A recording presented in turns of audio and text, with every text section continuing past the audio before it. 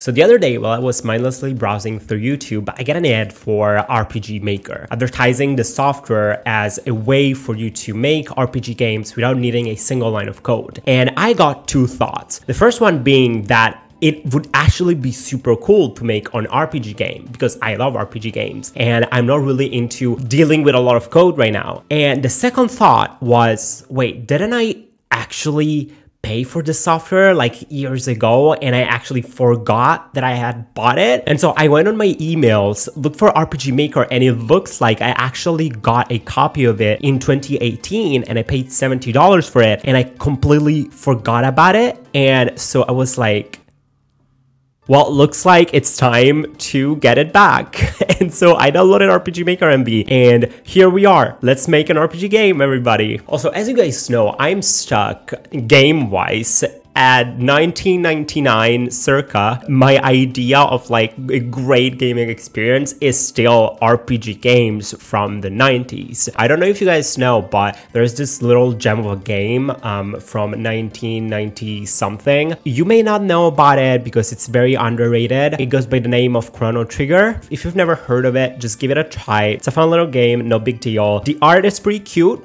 I hope that the artist, you know, get famous one day. And so while I started doing a little bit of research of RPG Maker and what you can do with RPG Maker, I found out that not only there are a billion plugins on uh, for RPG Maker MV, because MV is the version that I have, but that there's also a Chrono Trigger based plugin, which allows you to have a combat system like in Chrono Trigger. And I'm genuinely surprised that this is not big news. Like, why hasn't the world been taken by storm by the fact that you can actually make an RPG maker game with a combat system like Chrono Trigger? And so I had to just download the plugin and play with it. So I download RPG Maker. I'm super excited. I have all the plugins, but there is one little problem, which is the art. You guys know I enjoy making my own art, but right now with a lot of things going on uh, in my life, I just wanna focus on the RPG making part and not necessarily making an entire tile set from scratch. And so I did a little bit of research and found this amazing house set.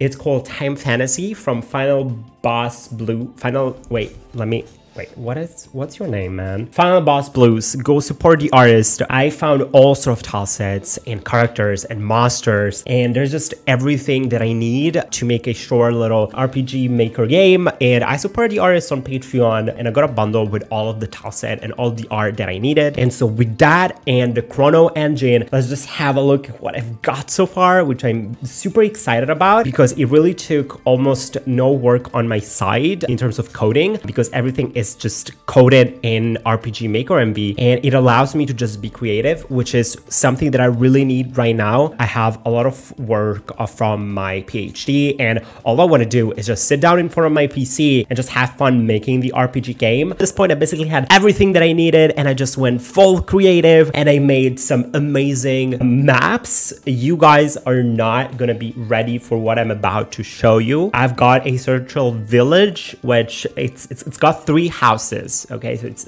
it may not um, satisfy the requirement for a village, but, but it is a village.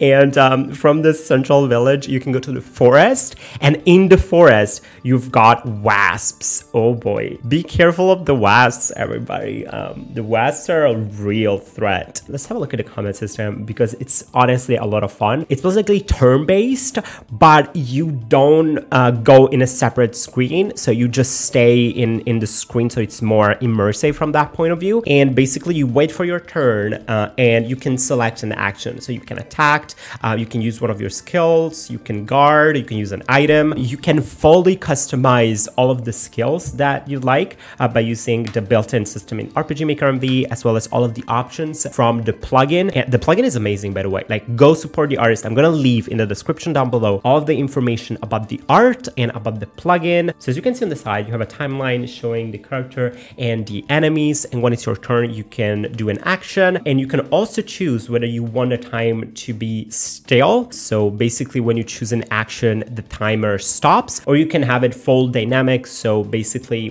while you choose the action, the enemies can still attack and you can still lose the battle. I really like how dynamic and how fun this system is, um, and I can't wait to create my own skills and just tailor the game around my original ideas. On top of this combat system, I really wanted to play around with a different idea, and something that really stuck with me was this idea of treasure hunting. You know, you collecting hints, and each hint points towards another hint, and then another hint, and at the end, you have finished your treasure hunt, um, and you are rewarded with some key items. And I've just played a little bit around with the built-in event system in RPG Maker. And by just using some very simple um, conditional loops, some if else statements, basically, I was able very easily to create this very simple system in which you collect a hint and a hint is defined as a key item within the item system uh, in RPG Maker. And basically when you collect one hint, it tells you where the next hint is and the next hint event is only active if you have the respective hint. And it makes it so that you can really have a nice hint going on. I'm gonna show you right now the whole quest um, that we made um, live with the community. It was a lot of fun. The idea is that you need to get into uh, the hut from Douglas. Uh, we don't know who Douglas is. We don't care because here we're just expressing our creativity and uh, just having fun. And as you can see in here, you go in front of Douglas house and there's this box. You get a hint there and then you go to the second hint and then to the third hint, etc., etc. I'm just gonna show it on screen and you can have a look. It's gonna be very clear how the system works and it's just a lot of fun and almost no code required. And, and I don't know, it's just it's just fun. Like I feel joy out of it. And with these two systems in mind, uh, the combat system, which is basically done thanks to these um, RPG Maker MV plugin wizards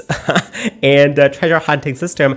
I love to just be creative and make a short RPG game everybody. It's a brand new day, it's a brand new project, and I'm all for it. Do I have goals moving forward uh, for this project? The answer is both yes and no. Yes, I love to work on this project, but I love this to be an exploration of RPG Maker MV. I really want to see how much it can push the software and what can be done and what cannot be done uh, by taking advantage of both RPG Maker MV and all of the great library of plugins uh, that has been built up over the years. If you do a little bit of a research online, you see sometimes a bit of a stigma around RPG Maker MV games because you end up being very limited of what you can do. But at the same time, I'm personally not aware of the limits and I already see that um, with what's already there, I I can make something that I'm 100% satisfied with. And if I can make a game that I'm proud of within the limits of RPG Maker MV, so be it. Like, honestly, yeah. I mean, I don't mind using a product that I paid like real money for. And if I can use those systems without having to build them up from the ground myself, so be it. I told you guys, I'm more interested in the art and the storytelling. And uh, like if there is an item system that works in this game, fine. I tried building an item system in Godot and it's interesting, but it's not necessarily my cup of tea. So yeah.